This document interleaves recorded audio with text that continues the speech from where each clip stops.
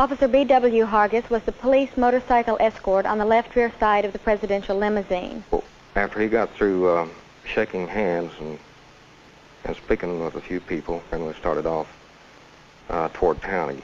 And of course, the route was well publicized, and there were just everyone was along the street, almost all the way from the love field down through town. There were so many people in the street that that uh, the whole motorcycle section had to fall back to get in behind, in between the cars behind the Secret Service car because there wasn't any way in the world we could uh, ride up beside so many people. When we turned uh, right off of Main Street onto Elm Street, it was the first chance I'd got to to pull up beside the limousine to my regular assigned spot was.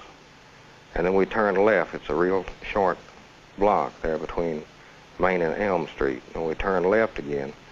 And I was pulling up into my position when the, the first shot was fired. We was going down into the depression that goes under the triple underpass where um, the echo of the, the first shot was tremendous. You couldn't tell where the shot was coming from. Riding a few feet from the limousine was Dallas police outrider Bobby Hargis. There's uh, another motorcycle officer by the name of Buddy Brewer that came up to me and says, Bob, you have something on your lip.